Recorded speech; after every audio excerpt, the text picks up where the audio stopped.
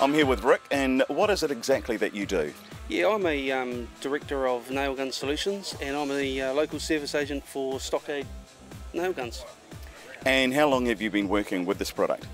Um, I've actually been servicing nail guns in general and this brand here for at least 18 years, I suppose. Yeah. What has it been like ever since this gun has come out? Now the fact that they've got rid of the, the hoses and the compressors, what what has the reaction been like, Rick? Oh, it's uh, revolutionary. Um, obviously, the convenience factor with these tools is second to none. Being able to just um, take it out of the box, put a battery in, gas cell, and basically take your tool wherever you need to without running leads and compressors and hoses and things like that. Yeah. So if I was a fencing contractor, you're the service provider, what can I expect from you? Yeah, so basically I'm an extension of their arm for um, Stockade and Paslode and and uh, what will, what you do is you'd bring your tool to me if uh, you know if you need it serviced. Um, obviously, the more you service these tools, the longer the lifespan of the tool, and um, yeah, hopefully provide a good service after service. Do you have any major issues with this uh, stapler? No, I think generally they just get well used. Um, so I'll get a phone call or a, or a, gun turn up to the workshop that's just been thrashed, shall we say.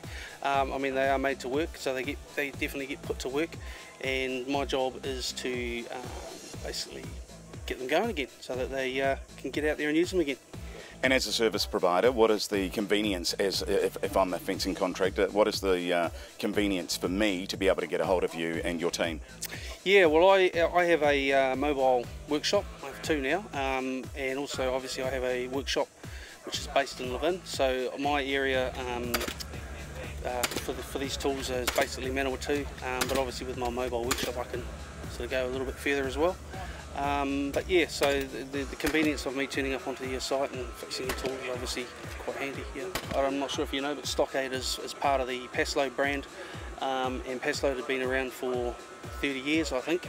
Um, so you know the technology is, is there. It's, it's a proven tool, um, and so yeah. So I think I think you'll get the same sort of thing with this particular model.